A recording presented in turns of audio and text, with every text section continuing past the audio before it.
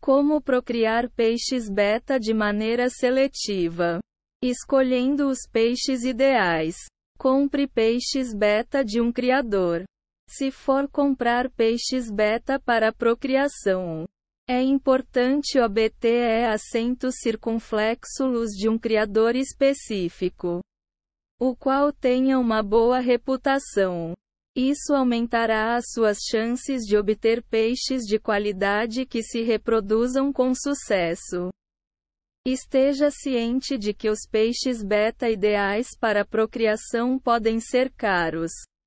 Quando um peixe é mais caro, geralmente significa que o criador também usou técnicas de procriação seletiva.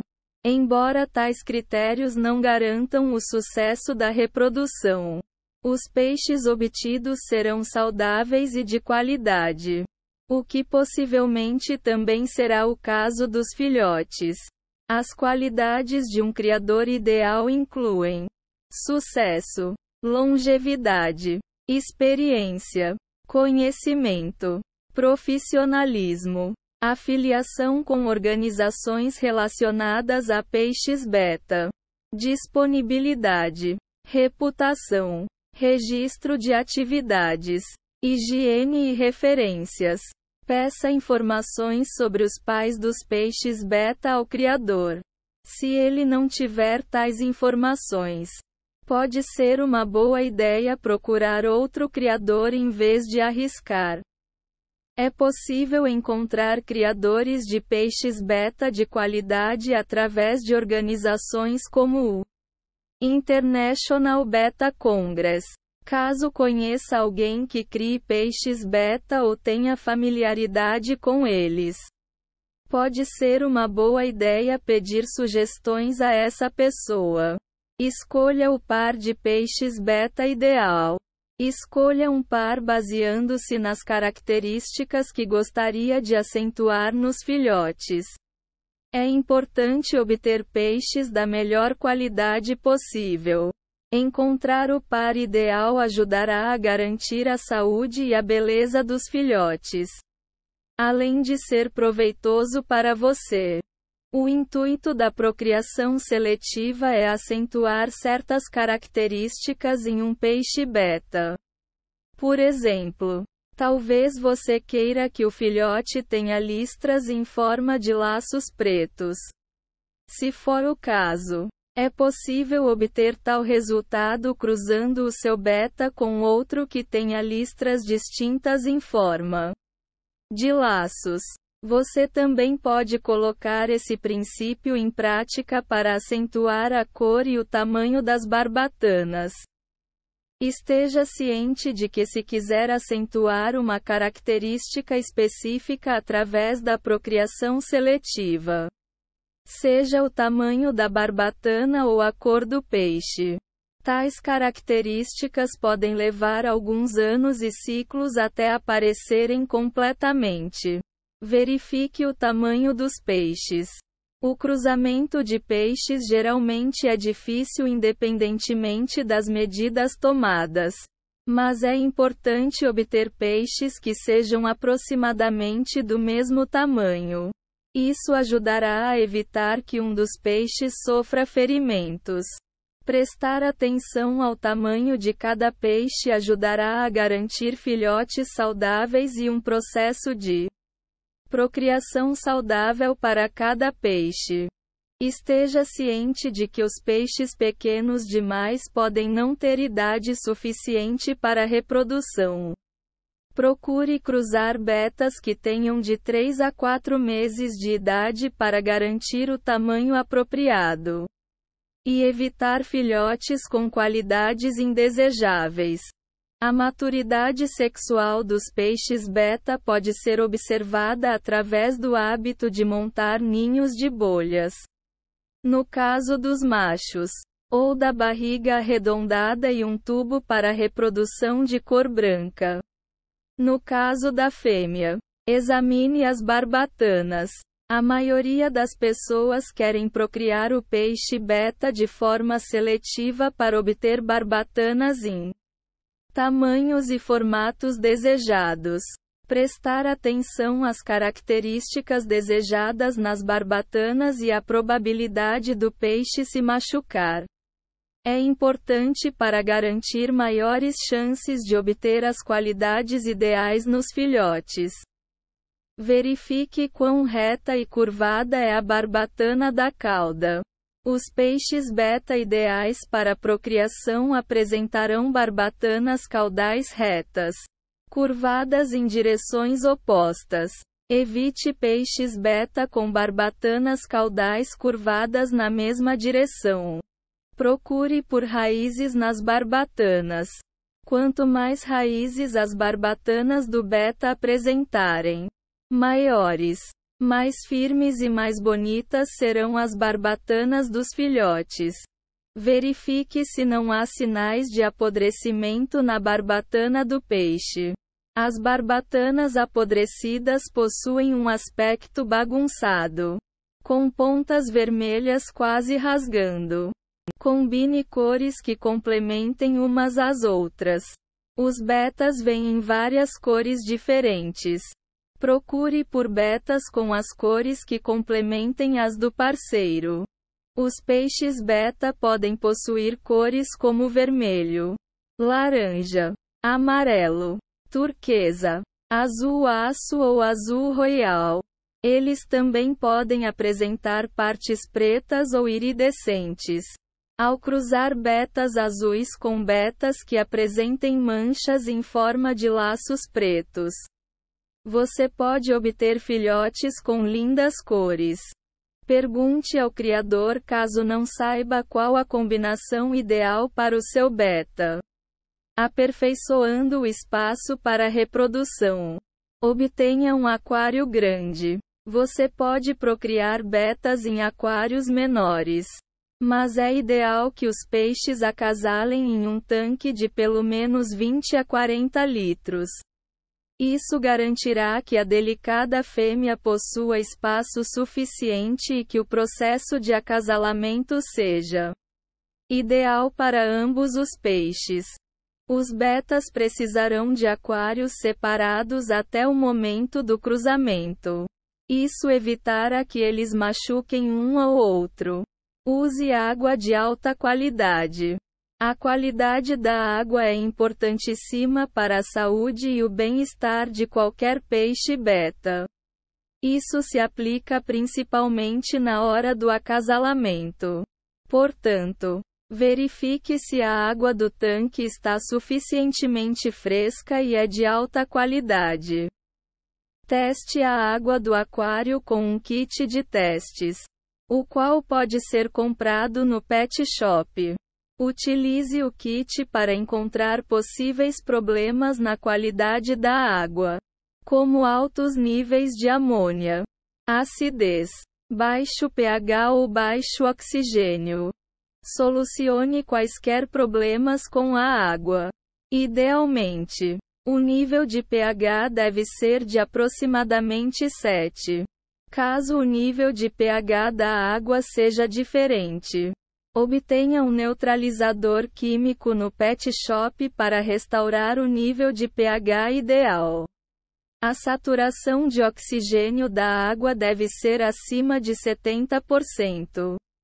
Se os níveis de oxigênio da água forem diferentes, pode ser necessário limpar o tanque e enchê-lo com água diferente ou trocar o filtro de carvão. A temperatura da água deve estar entre 10 graus Celsius e 25 graus Celsius. Essa temperatura incentivará o acasalamento entre os betas e garantirá a qualidade dos filhotes. Utilize um filtro de água suave.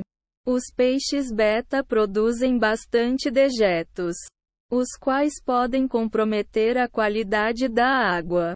Filtre a água suavemente para preservar a saúde dos peixes beta prestes a cruzar. Promover o processo de acasalamento. Além de ajudar os ovos e os filhotes a sobreviverem. Evite que o filtro cause o movimento excessivo da água. A água é parada no habitat natural dos betas. Portanto, Qualquer movimento particularmente brusco pode perturbar os peixes e seus filhotes. Providencie esconderijos para as fêmeas. O acasalamento pode ser estressante para as fêmeas. Além de machucá-las, providencie esconderijos feitos de plantas para acalmar a fêmea e proteger o ninho de bolhas no qual se situaram os ovos. Organize várias plantas flutuantes no tanque para aperfeiçoar o espaço de acasalamento dos peixes. Beta. Você pode usar plantas vivas ou artificiais. Ambos os tipos podem ser encontrados no pet shop ou em lojas especializadas em peixes. Cruzando os peixes beta. Verifique se os peixes possuem problemas de saúde. Se um dos peixes beta demonstrar sinais de doença, pode ser uma boa ideia oferecê-lo medicamentos comercializados próprios para peixes, além de tratar doenças e eliminar parasitas.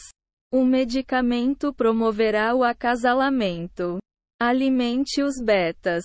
O acasalamento pode estressar e cansar o casal de peixes beta. Providencie uma dieta saudável antes do acasalamento para aprimorar o processo. Além de garantir a saúde dos ovos e dos filhotes. Ofereça uma mistura de artêmias e ração em flocos. Alimente os peixes apenas uma vez por dia para evitar que o excesso de comida comprometa a qualidade da água. Apresente os peixes beta. Após verificar o estado de saúde de ambos os peixes e alimentá-los, é hora de apresentá-los. Mantenha os peixes beta em tanques separados por alguns dias para familiarizar o casal. Evitar ferimentos e garantir ovos de alta qualidade. Coloque o macho e a fêmea em tanques separados perto um do outro por um ou dois dias. É possível que um peixe demonstre interesse no outro durante esse período. O que é um sinal de que estão prontos para o acasalamento. Coloque o macho no tanque para o cruzamento. Transporte o macho para o tanque de acasalamento quando ambos os peixes tiverem se familiarizado em tanques separados. Mantenha a fêmea no tanque dela por mais algumas horas para que o macho possa se preparar. Verifique se o macho não está demonstrando sinais de estresse antes de colocar a fêmea no mesmo ambiente. Alguns sinais de estresse incluem bater o corpo nas laterais do tanque ou nadar perto da superfície da água. Coloque a fêmea no tanque para acasalamento. Quando o macho já estiver no tanque para acasalamento por algumas horas, introduza a fêmea lentamente no mesmo ambiente. Deixá-la inicialmente em um espaço separado no tanque dará a ela a oportunidade de se acostumar com o ambiente e evitar que o macho a estresse antes dela estar pronta. Utilize um copo grande ou corte um copo de isopor pela metade para utilizar como proteção para a fêmea no tanque de acasalamento. Introduza o recipiente separado lentamente ao tanque e posicione-o contra uma das paredes do aquário. Evite fixar o copo ou xícara na parede, pois isso pode evitar que ela nade até o macho para acasalar. Ofereça espaço suficiente para que ela pode nadar para fora. Deixe o macho ver o recipiente da fêmea para incentivá-lo a montar um ninho de bolhas. Detecte a atração entre os peixes. Observe os betas para verificar se há sinais de interesse entre eles, como o giro das barbatanas além de indicar se os betas precisam de outro parceiro. Esse movimento indicará que a fêmea está pronta para botar ovos. Verifique se as barbatanas estão girando ou se expandindo. Isso é um sinal de que os peixes estão interessados no acasalamento.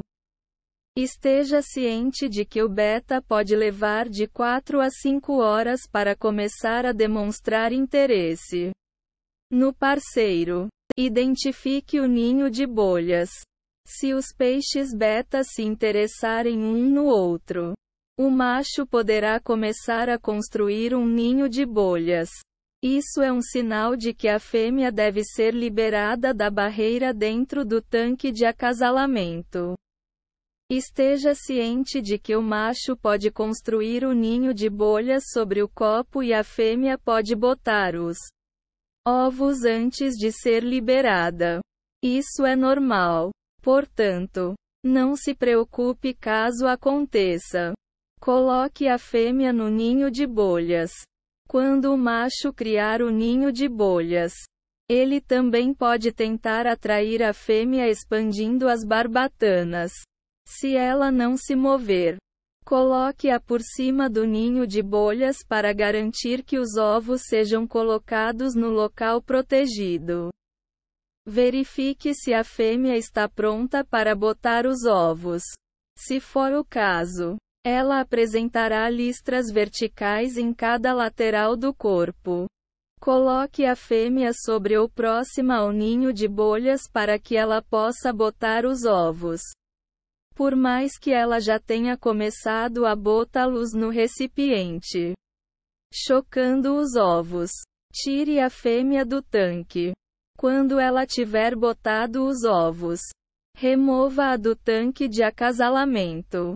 Coloque-a de volta no tanque normal para evitar que ela se machuque na presença do beta macho. Esteja ciente de que a fêmea pode ficar parada por um tempo após botar os ovos. Além disso, o macho pode tentar afastá-la do ninho de bolhas quando ela terminar de botar os ovos. Coloque a fêmea no tanque antigo ou deixe-a descansar por alguns dias em um aquário hospital ou de reserva. Trate as feridas. Os peixes beta podem se machucar facilmente durante o processo de acasalamento. Verifique se as barbatanas dos peixes estão rasgadas após o cruzamento para evitar que eles moram ou contraíam doenças. Adicione soluções comercializadas para tratamento de água para evitar que os peixes recentemente cruzados contraíam doenças. Esses produtos podem ser encontrados no pet shop ou em lojas especializadas em peixes. Separe os peixes caso note sinais óbvios de estresse ou ferimentos. Observe os filhotes saírem dos ovos. Após aproximadamente três dias, verifique se os ovos chocaram. Os filhotes terão a aparência de pontos pretos com pequenas caudas. Durante a observação do desenvolvimento dos filhotes, remova o macho para preservar a segurança e a saúde deles. Transporte o macho para o tanque antigo ou deixe-o em um aquário hospital por alguns dias. Alimente os filhotes quando eles começarem a nadar livremente. Os filhotes podem receber infusórios, um alimento que pode ser facilmente preparado. Basta cozinhar uma batata levemente e deixá-la por dois dias em um jarro com água de aquário para proliferar animais microscópicos. Coloque um pouco da água com infusórios no tanque com os filhotes duas vezes por dia. Deixe os filhotes juntos por cerca de sete meses. Após esse período, eles podem começar a brigar e machucar uns aos outros. Selecionando características através da procriação consanguínea. Observe os filhotes. Se quiser procriar peixes beta que nasceram recentemente, Escolhe os melhores machos e fêmeas para continuar o processo de reprodução assim que eles tiverem a idade apropriada. Pode ser uma boa ideia vender os outros betas Ainda assim, é recomendável ficar com o segundo melhor macho e a segunda melhor fêmea como reserva caso a reprodução do primeiro par não tenha êxito. Acompanhe o grau de parentesco de cada novo grupo e os betas que gostaria de procriar, tomando como base as características desejadas. Lembre-se de que ao selecionar os melhores filhotes de cada geração, você estará se aproximando cada vez mais de obter as características ideais. Introduza novos genes. Embora a reprodução consanguínea deva ser utilizada o máximo possível para obter os resultados desejados, eventualmente será necessário reiniciar o processo e introduzir novos genes. Compre um novo macho ou uma nova fêmea, os quais possuam características semelhantes às da linhagem procriada anteriormente. Cruze o novo peixe com o seu beta e continue o processo de reprodução consanguínea com os novos filhotes. Compre o novo beta de um criador que tenha uma boa reputação. Pode ser uma boa ideia trocar o seu peixe beta jovem com um dos peixes do criador como forma de pagamento. Isso será beneficial para ambas as partes. Repita o processo. Procrie betas consanguíneos por seis gerações antes de introduzir novos genes. Isso ajudará a trazer à tona lindas cores e barbatanas nas próximas linhagens.